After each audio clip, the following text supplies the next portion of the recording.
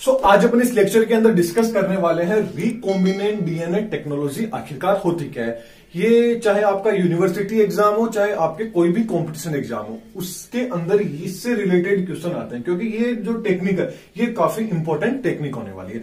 और ये काफ़ी यूजफुल भी है और काफ़ी अच्छे से आज आपको समझ में आ जाएगी। तो चलिए आज अपन बात करते हैं रिकॉम्बिनेंट डीएनए टेक्नोलॉजी होती क्या है। तो देखिए रिकॉम्बिनेंट डीएनए टेक्नोलॉजी के अंदर करते क्या है? देखिए देखिए कि होती क्या है ये। तो ये होती है एनी एनिमल कोई भी एनिमल है, उसके डीएनए को अदर कोई एनिमल होगा, उसके डीएनए के साथ जो अटैच करने की, जो टेक्निक होती है, उसको क्या बोलते हैं? रिकॉम्बिनेंट डीएनए टेक्नोलॉजी बोलेंगे।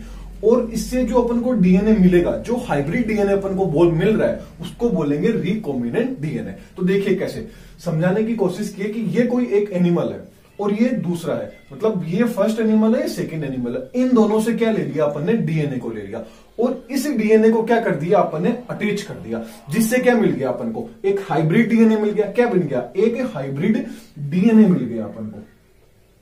अब ये जो हाइब्रिड डीएनए मिला है ना, इस पूरी की पूरी प्रोसेस को तो क्या बोलेंगे अपन? रिकॉम्बिनेंट डीएनए टेक्नोलॉजी बोल देंगे। जबकि जो अपन को री जो डी हाइब्रिड डीएनए बोला है इस हाइब्रिड डीएनए को क्या बोलेंगे? रिकॉम्बिनेंट डीएनए बोल देंगे। दैट्स क्लियर तो चलिए इसको अच्छे से समझते हैं स्टेप बाय स्टेप स्टेप्स पूछ लिए जाते हैं आपसे। तो देखिए फ़र्स्ट स्टेप की बात करें तो फ़र्स्ट स्टेप क्या बोलेगा? Construction of recombinant DNA molecule. अपन को क्या करना है फ़र्स्ट स्टेप में, जो डीएनए मोलिक्यूल है, उसका फॉर्मेशन करना है, उसका अपन को निर्माण करना है कंस्ट्रक्शन करना है। तो अपन क्या करेंगे? ये कोई भी एक एनिमल होगा, उसका डीएनए ले लिया, दूसरा फोरिजन डीएनए अपन ने ले लिया। तो क्या करेंगे? ये जो जो वेक्टर है, जो प्लाज्मिक वेक्टर है, इसका यूज़ करते हैं, क्योंकि जो प्लाज्मिक जो वेक्टर होता है प्लाज्मिक जो वेक्टर है, ये क्या करता है? बहुत ही जल्दी रेप्लीकेट हो सकता है। बहुत ही जल्दी क्या बना सकता है? कॉपीज बना सकता है। मान लिया अपन को कोई डीएनए इस डीएनए के अंदर बहुत ही अच्छे अच्छे फीचर्स है अच्छे अच्छे करेक्टर्स है। तो इस डीएनए को अपन को बहुत ज़्यादा अमाउंट में चाहिए। तो अपन क्या करेंगे? ये जो प्लाज्मिड वेक्टर होगा, इसके साथ इसका क्या कर देंगे? फ्यूज करा देंगे। इसको क्या कर देंगे? इसका साथ अटैच कर देंगे। अब इसका जैसे ही अपन अटैचमेंट करेंगे तो इसको सबसे पहले क्या करेंगे? इसको यहाँ से क्या करेंगे? कट कर देंगे। कट करने के लिए क्या चाहिएगा? तो रेस्ट्रिकेशन एंजाइम चाहिए तो रेस्ट्रिकेशन एंजाइम द्वारा इसको कट कर देंगे और इसको क्या कर देंगे यहाँ? ट्रांसफ़र कर देंगे अटैच कर देंगे। फिर लाइगेज एंजाइम द्वारा इसको क्या कर देंगे? जोड़ देंगे। जिससे क्या मिल गया अपन को? रिकॉम्बिनेंट डीएनए मोलिक्यूल बन गया। ये क्या मिल गया अपन को? रिकॉम्बिनेंट डीएनए मोलिक्यूल अपन को मिल गया। अब इस रिकॉम्बिनेंट डीएनए मोलिक्यूल को क्या करेंगे? अब इसको ग्रो करने के लिए क्या चाहिए? अपन को एक होस्ट सेल की रिक्वायरमेंट होगी। तो होस्ट सेल के रूप में अपन ने किसको ले लिया? बैक्टीरियम को ले लिया। किसको ले लिया बैक्टीरियम को। बैक्टीरियम के अंदर अपन ने क्या कर दिया? इस डीएनए को ट्रांसफ़र कर दिया। तो नेक्स्ट स्टेप में क्या करेंगे? Transport into the host cell ये जो रिकॉम्बिनेंट डीएनए मोलिक्यूल था, इसको ट्रांसपोर्ट कर दिया ट्रांसपोर्ट कर दिया किसके अंदर? होस्ट सेल के अंदर, बैक्टीरियम के अंदर। जैसे ही इसको क्या किया, इसमें ट्रांसफ़र किया तो bacterium carrying recombinant DNA molecule, ये क्या कर लेगा इसकी?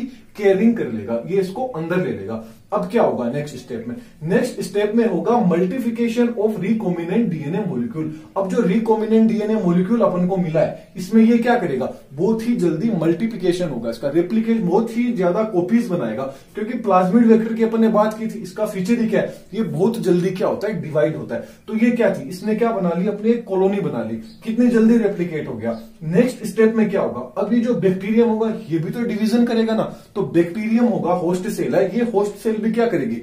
सेल डिवीज़न करेगी। सॉरी डिवाइड करेगी तो नेक्स्ट स्टेप के अंदर क्या हो रहा है? डिवीज़न हो रहा है होस्ट सेल का। होस्ट सेल क्या कर रही है? डिवीज़न कर रही है। तो होस्ट सेल दो भागों के अंदर क्या होगी? आगे दो से चार, छह, आठ, ऐसे आगे होता जाएगा। तो ये दो सेल्स के अंदर क्या होगी? डिवाइड होगी। अब ये डिवाइड हुई है तो इसके अंदर जो अपना रिकॉम्बिनेंट मोलिक्यूल था, ये भी क्या हुआ डिवाइड हुआ है तो ये भी अपन को क्या मिलेगा? बहुत ही ज़्यादा अमाउंट के अंदर मिलेगा।